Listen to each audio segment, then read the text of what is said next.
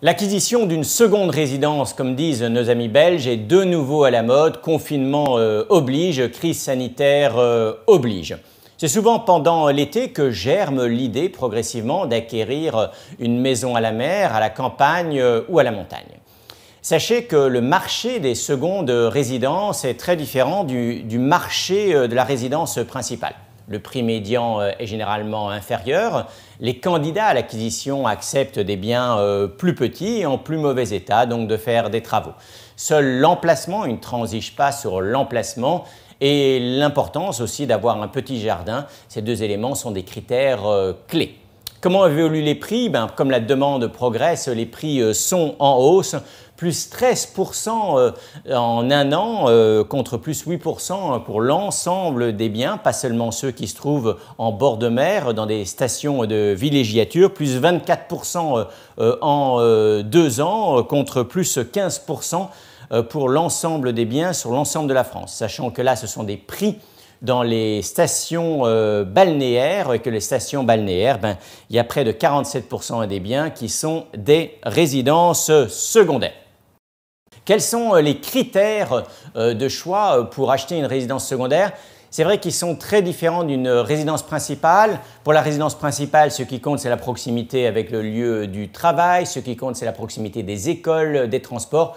Pour une résidence secondaire, attention au coup de cœur. Ce qui compte avant tout, c'est votre projet. Est-ce qu'il va s'agir d'un pied-à-terre, d'une résidence semi-principale pour télétravailler, d'une maison de famille ou rassembler votre tribu voire euh, d'un nouveau lieu de vie euh, le jour où vous serez à la retraite?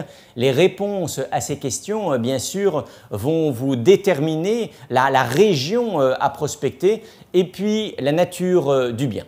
Prudence avec les maisons isolées. C'est vrai que pour les, Parisiens stressés, les habitants des grandes métropoles, se retrouver au milieu de nulle part peut être intéressant. Il n'empêche que vous devez vous projeter dans la vie quotidienne. Est-ce que vous êtes prêt à faire 20 km pour trouver une station essence, une boulangerie ou un distributeur de carte bleue La distance entre la résidence principale et la résidence secondaire est un autre critère clé de choix.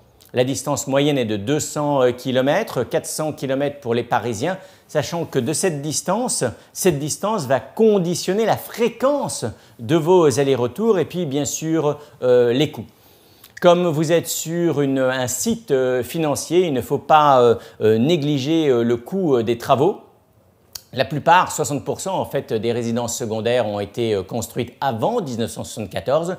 Il y a donc souvent une remise en état à prévoir, comptez 600 à 1500 euros le mètre carré si vous faites les travaux vous-même, 1300 à 2000 euros si vous les faites faire par un professionnel, voire encore bien davantage. Sur le plan euh, financier, euh, bien sûr, ne mettez pas la barre trop en termes de nombre de mètres carrés, en termes d'hectares et de, superficie pour votre jardin. N'oubliez pas les fameux frais d'entretien, ils sont tout simplement proportionnels à la taille de votre seconde résidence. Comptez 1 à 2% 3 à 4% si le jardin est particulièrement grand et que vous avez une piscine. Last but not least, pour entre guillemets rentabiliser votre résidence secondaire ou en tout cas faire qu'elle ne vous coûte pas trop cher, pensez à la location euh, saisonnière. Les résidences secondaires sont occupées en moyenne 30 jours euh, dans l'année, ça vous laisse une marge de manœuvre importante. On estime que pour couvrir les frais d'entretien, les impôts locaux, il faut louer le bien généralement 5, 6, 7, 8 semaines. Ne pensez pas pour autant en tirer un vrai revenu euh, complémentaire. Ce, complément sert uniquement à faire face aux frais d'entretien. Vous pourrez en tirer, sauf exception, 4, 5, 6 000 euros euh, par an. Voilà. L'acquisition d'une résidence secondaire est le rêve de nombreux euh, Français. Attention à, rester objectif, il s'agit aussi d'un investissement patrimonial, le coup de cœur c'est bien, mais euh, les, chiffres, sortir la calculette, c'est aussi euh, important. Je vous donne rendez-vous euh, d'ici quelques jours pour d'autres chroniques boursières et patrimoniales, immobilières sur lerevenu.com. À bientôt.